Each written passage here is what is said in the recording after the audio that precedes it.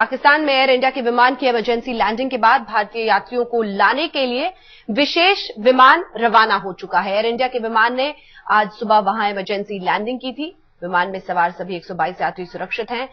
विमान अबुधाबी से दिल्ली आ रहा था।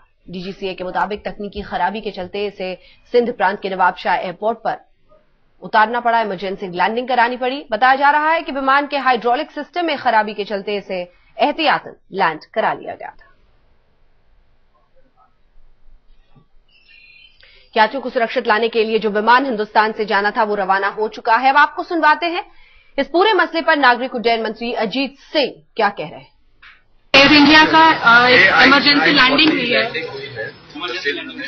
उसमें को लेके आपकी तरफ़ से क्या कार्रवाई यात्रियों को कैसे वापस लाया? नहीं नहीं एक प्लेन भेजा जा रहा है यात्रियों को वापस लाने के लिए और उसमें हम इंजीनियर भी भेज रहे हैं। जो समस्या हुई है हाइड्रोलिक ब्रेक्स की उसको चेक कर। डिटेल